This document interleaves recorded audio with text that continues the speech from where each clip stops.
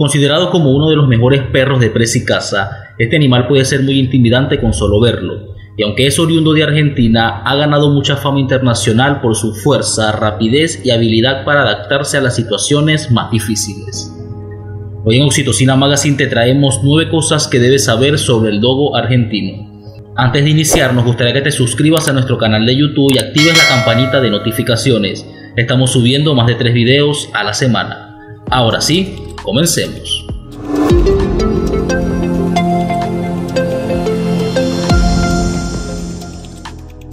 Número 9. Su historia.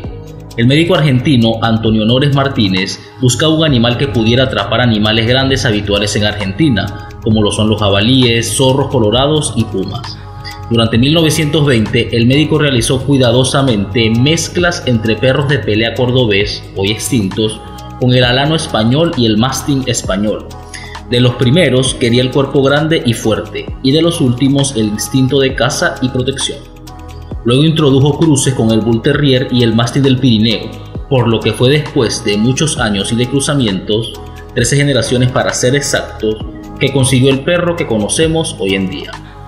Número 8. Es parte de la generación Bullenbeiser.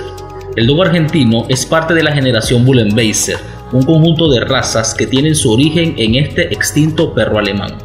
Junto a él se encuentran también el gran danés, el boxer o el perro de pelea cordobés, también argentino que se encuentra extinto. En su país natal fue reconocido por la Federación Sinológica Argentina en 1964 Luego, unos años más tarde, exactamente en 1973, fue cuando la FCI lo consideró como raza y lo clasificó en el grupo de perros tipo montaña y boyeros suizos. Número 7. Su salud. Como cualquier otra raza mediano grande, los ejemplares están propensos a presentar displasia de cadera. Igualmente es común que algunos presenten sordera en uno o ambos oídos. Esto es algo que suele ocurrir en los perros de color blanco. Los problemas de la piel también suelen ser frecuentes, ya que tienen una piel delicada, con tendencia a una enfermedad llamada demodexia, sobre todo cuando están jóvenes. Su esperanza de vida ronda los 10 a 12 años de edad. Número 6. Cuidados básicos. Como te puedes imaginar, es muy importante cuidar su piel, no exponerlo demasiado tiempo al sol y cepillarle el manto para retirar el sucio y el pelo muerto. Sus ojos y orejas también deben ser limpiados para evitar cualquier tipo de infección. Además, hay que otorgarle una educación en positivo desde que es un cachorro, para que tenga muy claro las normas del hogar y el comportamiento social. Es un perro muy activo y se aburre con facilidad por lo que no es recomendable dejarlo mucho tiempo solo. Necesita atención y actividad constante. Número 5. El mejor perro entre los perros de presa. Su creador Antonio Nores Martínez lo definió como el mejor perro de presa y el de más presa entre los perros del mundo por su extraordinaria capacidad para la caza. Los dogos trabajan en jauría, generalmente de cuatro miembros. Tienen una mordida muy fuerte, una gran resistencia y mucho coraje, lo que le permite mantener a la presa hasta que lleguen los demás perros de la jauría o el cazador. Número 4. Rara vez admiten que tienen dolor. Es una característica muy propia de esta raza, pues rara vez admiten que siente dolor y es capaz de aguantar o esconder su malestar.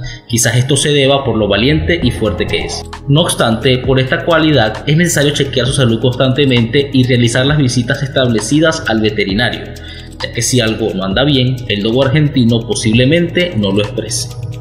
Número 3. Aunque no lo parezcan, son perros muy tiernos. Además de cazador, es entrenado para ser un perro de trabajo, de ayuda policial o servicio militar. Bien entrenado desde la llegada a su hogar, será con sus familiares humanos muy amigables y fiel.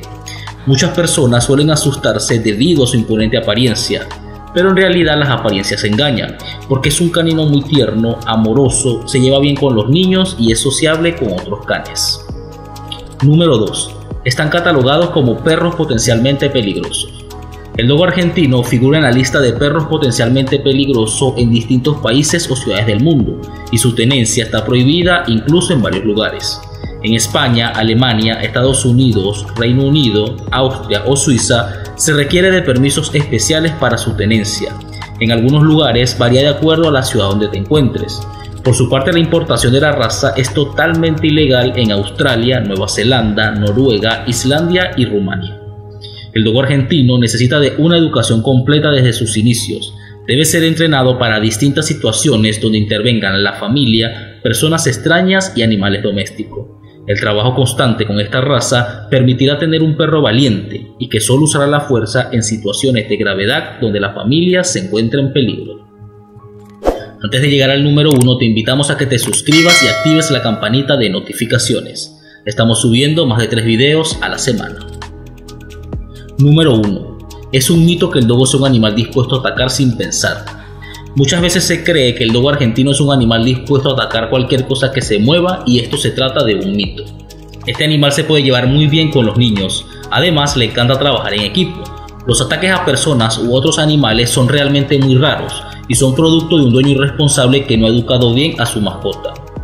Estos animales son capaces de convivir con cualquier animal doméstico desde un espacio pequeño hasta grandes zonas rurales. Si no te sientes apto para poder tener a este tipo de perros, busca otro. El dogo necesita un dueño que le dé carácter y que le enseñe quién manda en la familia. Si te gustó este video, acá te dejamos otros que pueden ser de tu interés. No olvides visitar nuestro sitio web y redes sociales, donde a diario compartimos información de interés sobre las mascotas. Bueno, esto es todo por ahora. Hasta la próxima.